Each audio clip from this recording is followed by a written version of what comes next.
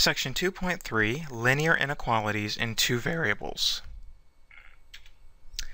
Our goals for this section is to discuss what is a linear inequality in two variables, how we represent the solutions of a linear inequality in two variables graphically, look at an application, we'll also talk about how to use graphing calculator technology. So first, what is a linear inequality in two variables?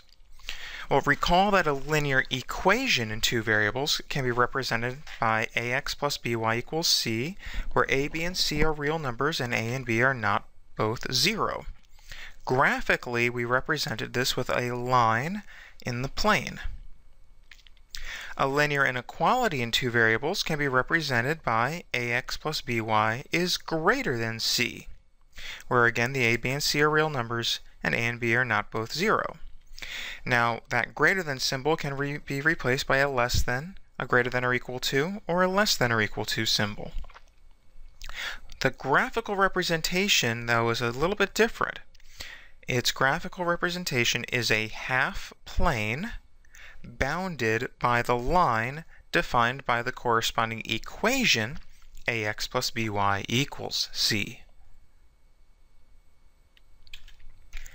So here is a procedure we can use to graph a linear inequality in two variables. So in general, if we're talking about ax plus by is greater than c, the first thing we do is actually graph the corresponding equation, the ax plus by equals c. And that becomes the boundary for the inequality.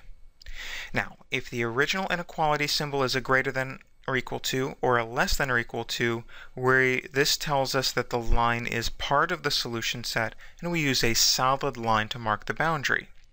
However, if the original inequality was a greater than or a less than, then the line, the boundary, is not part of the solution set. We will use a dashed line to mark the boundary.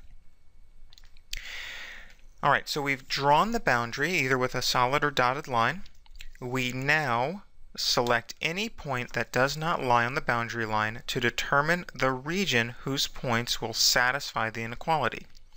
We usually call this a test point. We take that test point, we substitute it into the original inequality, and if it satisfies the inequality, so that is if it yields a true statement, we will shade the region that contains the point. If it does not satisfy the inequality, we will shade the opposite region. So now let's see a, a couple examples. First we have uh, we're asked to graph 2x plus, I'm sorry, 2x minus 5y is greater than or equal to negative 10. So what I will do first is graph 2x minus 5y equals negative 10 with a solid line. I'm using a solid line because it was an or equal to inequality. Recall that if we have an or equal to inequality, we do use a solid line. Alright, so I'm going to use the um, the intercepts. Uh, let's see, the x-intercept, letting y equals 0, we would have x is negative 5. So negative 5, 0 and the y-intercept letting x equals 0, we'd have negative 5, y equals negative 10, so y would equal 2. Alright, so plotting negative 5, 0 and 0, 2. Now, I'm drawing the line through those points, again using a solid line.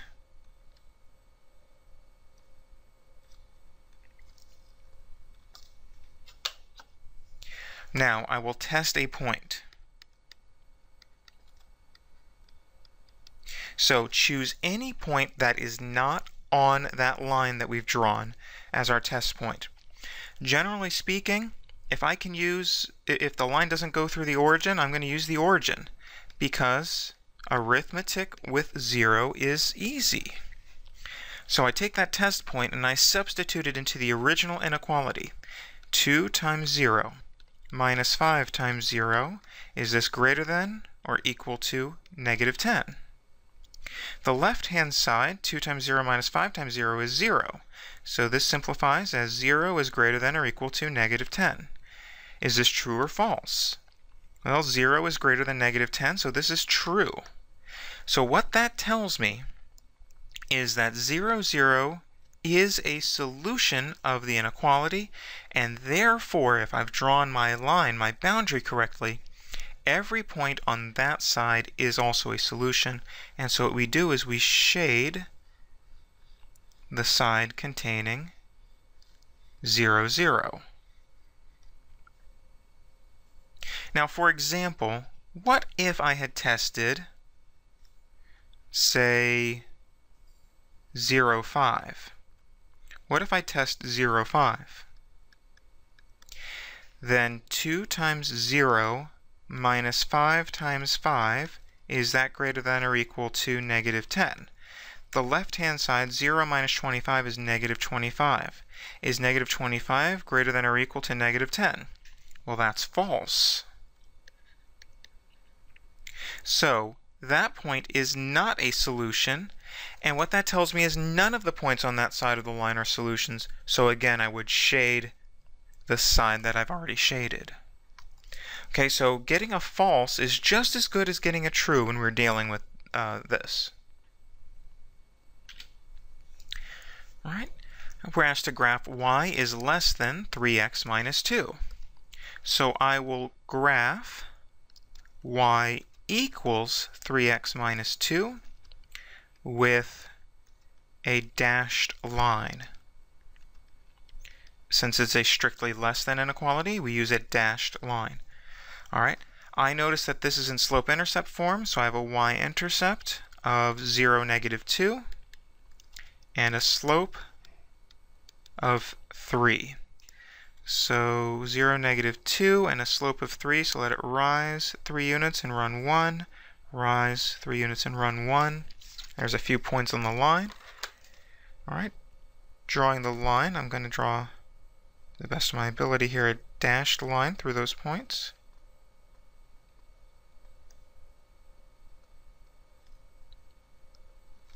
Alright, so there's my dashed line. And again, now I will test a point.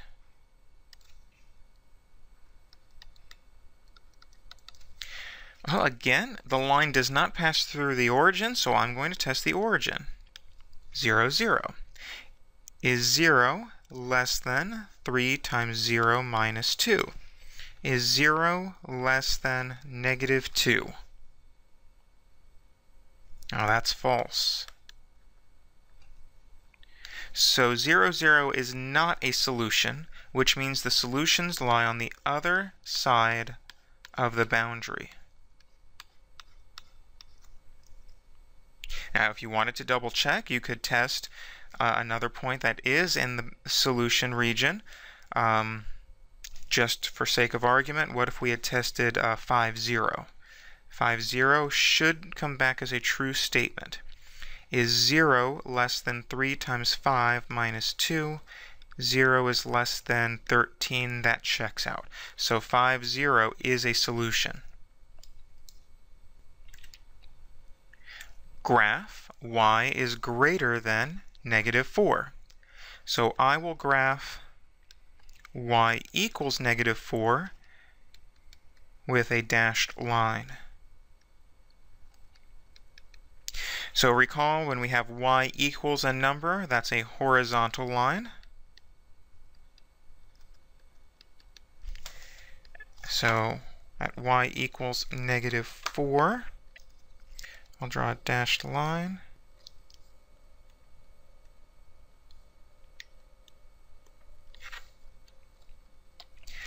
And now where are the y values greater than negative 4? I mean, you can test a point if you want, but it just, you know, it's just sort of thinking through it. The y values are greater than negative 4 above that line.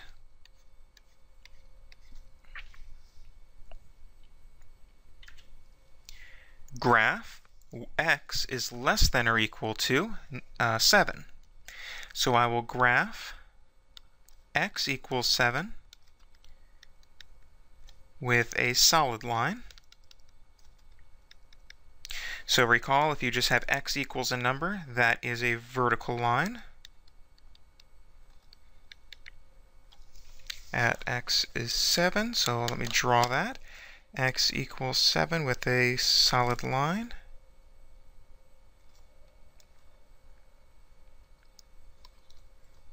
All right, so there's x equals 7. Now, where is x less than 7?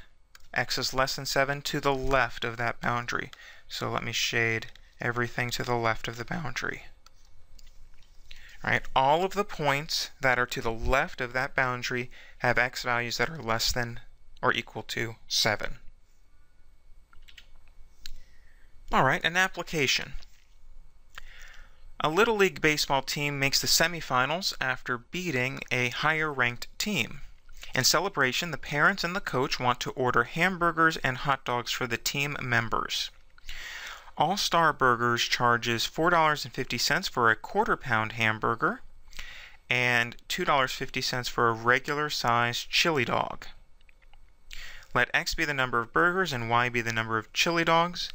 If the parents and coach can spend no more than $90 altogether, write a linear inequality that represents how many of each they could buy. Alright, so let's see. Well, if we let x be the number of burgers we and they cost $4.50 each, then the total cost for the burgers would be 450x. Similarly, the total cost for the chili dogs would be 250 times y. They can spend no more than $90. So they can spend $90 or less than $90. So we'll say less than or equal to 90. All right, we're asked to graph the inequality. So I know I'm going to use a solid line, um, and I'm going to use intercepts. So the x-intercept, letting y equal 0, if I let y equal 0, 4.5 divide, uh, 90 divided by 4.5, I think that's 20. It is, so I'd have 20, 0. And the y-intercept, letting x equal 0, 90 divided by 2.5 is 36. Alright, so let's see. Um, what scale to use? Let's use a scale of about 4 on each axis. So 4, 8, we'll call this the x-axis. 12, 16, 24, 28, 32, 36, 40.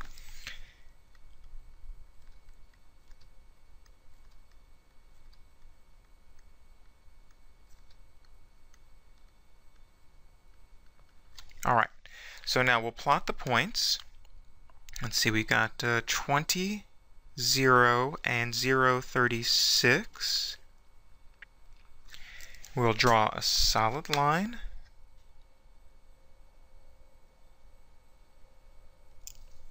Through those points.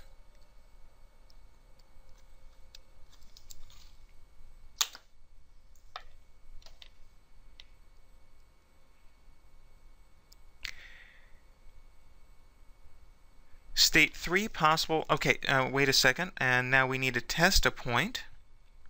How about we test 0, 0? Again, 0, 0 doesn't pass, uh, doesn't pass through the line. So let me test 0, 0 is 4.5 times 0 plus 2.5 times 0 less than or equal to 90. 0 is less than 90, that checks out. So what that tells me is I should shade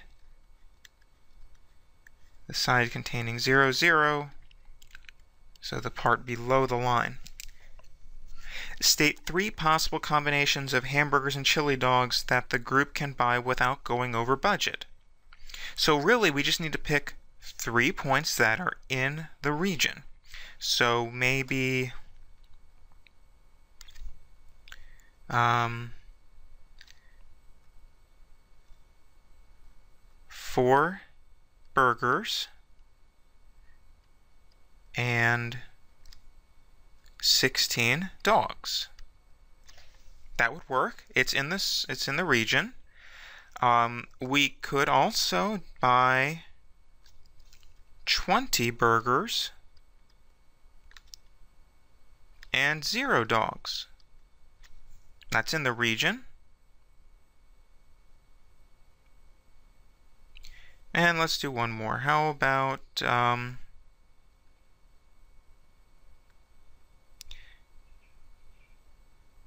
this point right here?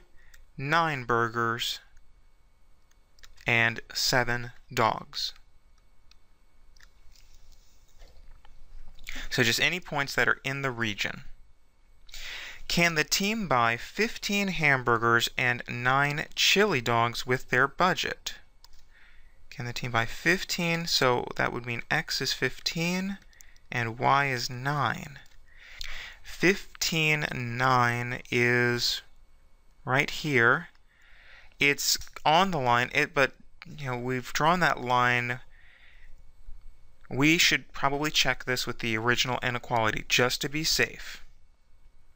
So let's see, 4.5 times 15 plus 2.5 times 9 I'm using, let's see, 4.5 by 15 is 67.5. 2.5 times 9 is 22.5. And adding those together, it's exactly 90. Is 90 less than or equal to 90? Yes. So notice it is exactly on the boundary. Alright, so can the team buy 15 hamburgers and 9 chili dogs with their budget? Yes. This combination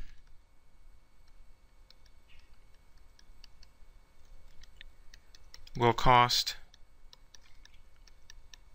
exactly $90.